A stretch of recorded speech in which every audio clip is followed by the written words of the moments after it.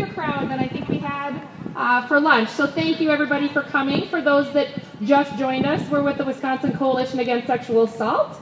Uh, this is a great group of survivors and allies and activists who are here to um, stand with survivors and to take a stand against sexual violence.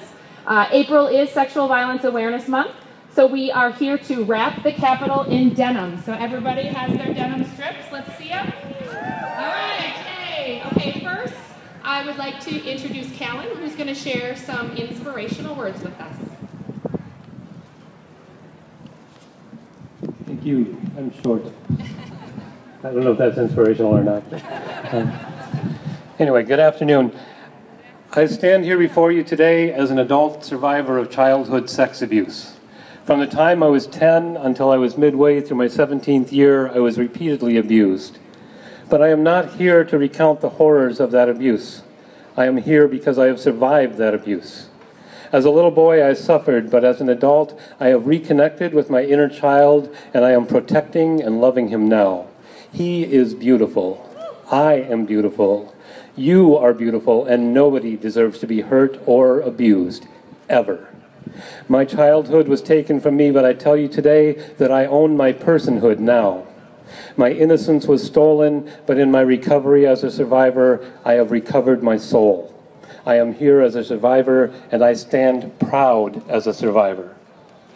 I speak because silence steals our power. I speak because silence shrouds us in shame. I speak because silence protects no one but those who would do us harm. It is in giving words to my past that I can live in the present and look forward to the future. Today, in the here and now, I have come to be with you because I recognize that we are all in this together. Men, women, adults, children, survivors of every race and class, allies of every creed and color, we are all in this together. We need each other. Many hands have lifted me up over the years, and now it is my turn to offer my hand to others. Many words have touched my heart, and now I offer my voice to others. All who have suffered abuse in its many unfortunate forms are brothers and sisters or others in recovery and survival. Those of us who can offer hands or voices or ears need to reach out to those who can't yet do so. We meet here in the shadows of Wisconsin's capital, a place where legislators must be urged to continue to pass laws that protect those who have been abused and also to do their best to bring perpetrators to justice. On the other side of the Capitol is a statue named Forward after our state motto Forward we must go.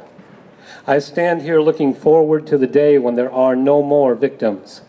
That day will come when we all march forward together to fight for a better future for all. That is a future without sexual violence. Let us join hands as we wrap ourselves around this capitol and then push forward to work hard for the day when we no longer have to meet at events like this.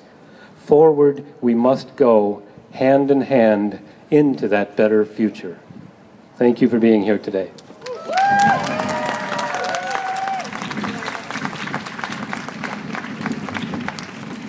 Thank you, Callen. So we're going to wrap the Capitol. So everybody, uh, sort of self-explanatory, but you want to find a buddy to grab one end of your denim. You hold the other. We're going to go around the circle here. Please do not, yeah, go around both ways. Don't let go until we make sure we're completely wrapped all the way around. And then we're going to come back here after you're done. So don't leave. Um, but we can just start if people want to start coming up and going both ways around the Capitol, and we will